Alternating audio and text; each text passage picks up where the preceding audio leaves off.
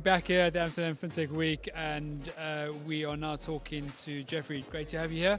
Um, and we are chatting through uh, cloud native. And we're going to jump into topics around what you actually see happening inside the space right now. So, super excited to have you here. Um, I think we start from the top, right? Let's uh, look at and understand your opinion when it comes to the the challenges and obstacles that uh, fintechs and financial services in, in general face when they on their route to adopting cloud native technologies. Yeah, I think if you look at uh, the adoption of cloud native technology, it's I think the technology is there. So it's not so much about technology; it's more about the people and the clients around it. So still, uh, we we deliver cloud native core banking. And the core bank is of course quite crucial to banks. Yeah? It's their most reliable, most complete data set that they have. And for them still it is a hurdle. Uh, especially the, the risk managers, the security guys. Uh, for them cloud is still sometimes a little bit, yeah, they're not sure. So if you look at what they are demanding from a security point of view and the questions that they ask, uh, you sometimes feel like, well, I'm not sure if they really know cloud and what cloud native means. So I think that is one of the key challenges that we see. Uh, but uh, it's getting better. Uh, people are getting educated more and more. Uh, and so it's easier to, to sell. And I think another challenge still is uh, the regulators. Because the regulation is still running behind. Not the first person that said that today. No, probably not. so the regulation is still running behind. Uh, they're adapting, they're learning, but still also there you see that it's sometimes hard to yeah, to explain what you're doing, uh, why you're doing it, how you do it, and that this is the way going forward.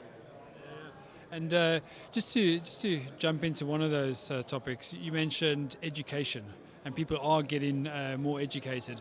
How are uh, you know companies, individuals getting more educated about uh, you know the cloud native ecosystem? what you see, well, we do a lot of work there as well.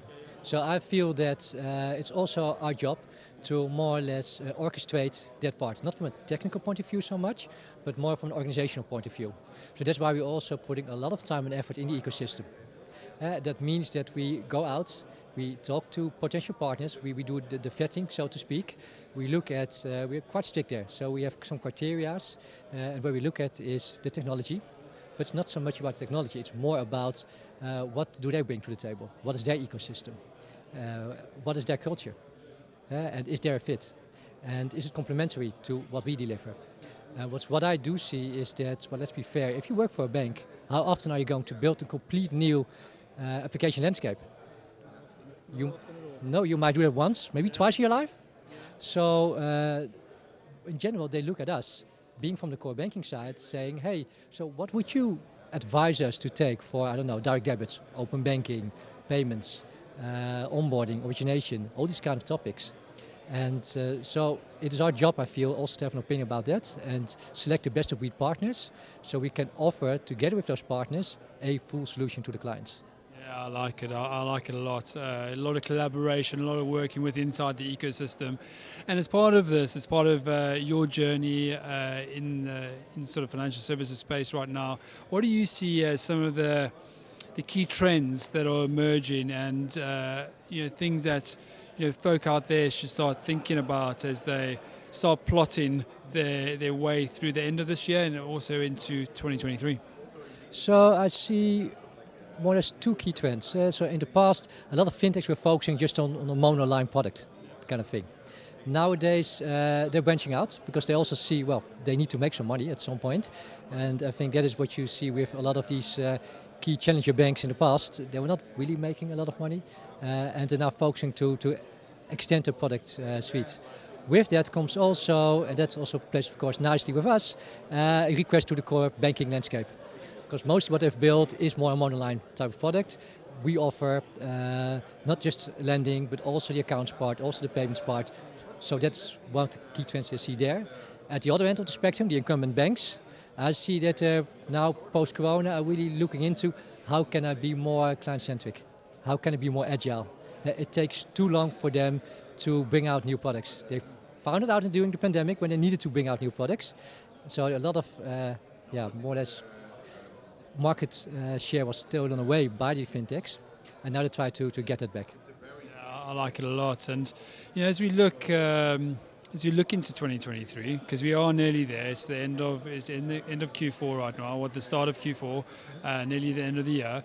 Um, what do you see as the evolution of of the fintech ecosystem? What are the what are the key opportunities that leaders out there uh, need to be really on top of in order to um, make the best out of 2023? Yeah, I think what the evolution there is is that it's it, we now go beyond just talking. It used to be handshakes, used to be marketing and sales, but it was relatively shallow.